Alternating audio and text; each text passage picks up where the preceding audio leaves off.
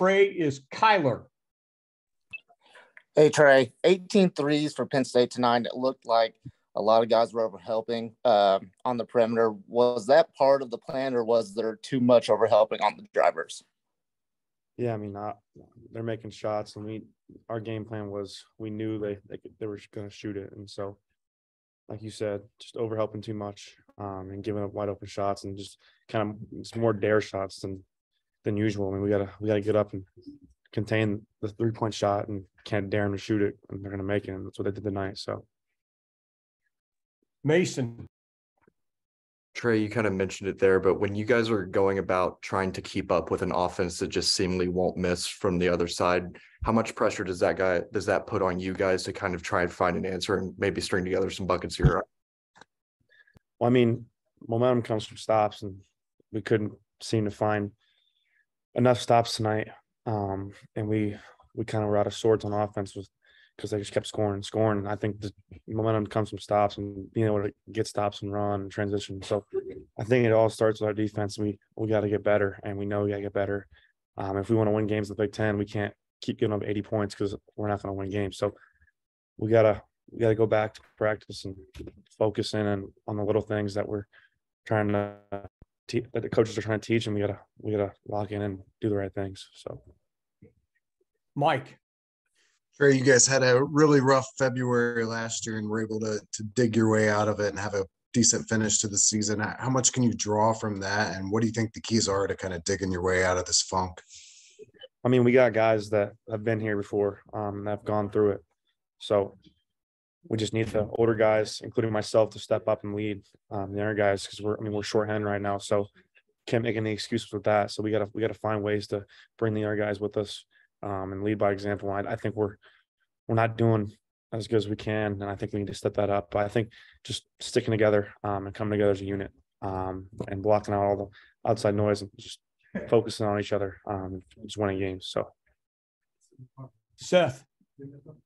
When you talk about leadership, I mean, where do you feel like this team's effort is at right now, and what can you all do to make sure that stays where it needs to be, even if something isn't going your way? Um, I mean, we can definitely play harder, um, and coaches are coaches are preaching it. Um, and I, I think that's our our main that's our identity is playing hard, and I think we're not doing that right now. Um, and it's all of us, um, and we can all give a little more. And so I think just really focusing on practice every day, coming to practice to work, um, and stay ready. And I think just each each game going out and playing like it's your last game, like that's what we got to do because each game's going to be challenging in the Big Ten. So I, we can't we can't just go into these games um, not ready for a war because they're all wars. So that's what we got to do. Niffin.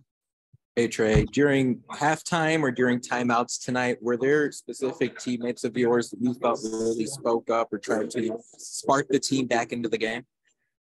Yeah, um, I mean, we we we we we're in timeouts. We all got to keep talking to each other because we're a unit. So all five guys got to be talking in the huddle and listening to each other, um, encourage each other because that's that's where you get that's where you get your spark from. Just coming to timeouts, coming to halftime, just talking to each other and feeling each other out. I mean, because if you're not talking, that means you're, you're not going to talk on the court either. So I think just in timeouts, just making sure that we stick together um, and listen to our coaches, but also have player talk as well.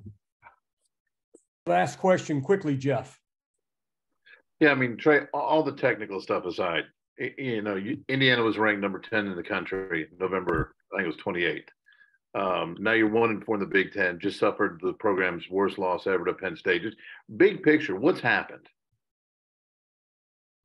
Um, I just think that we we got to play harder, um, and that's at the end of the day we're we're not playing hard enough, um, and our defense and, and just getting stops. I think that the biggest thing is just focusing on our game plan and following it and doing the right things every day in practice and leading up to games. So I think just going back to practice and really finding our identity on the defensive end because um, the teams that are going to win the Big Ten play defense, and so I think with us just going back and playing defense. I mean, obviously, one of four is not a good start in the Big Ten, but it's a long season. There's you got 15 more games in the Big Ten, so I we got a lot of more uh, games to play, and I think if we commit to it, we, we can we can get out of this hole and get right back into it. So All right, Trey, thank you. Have a safe trip home, buddy.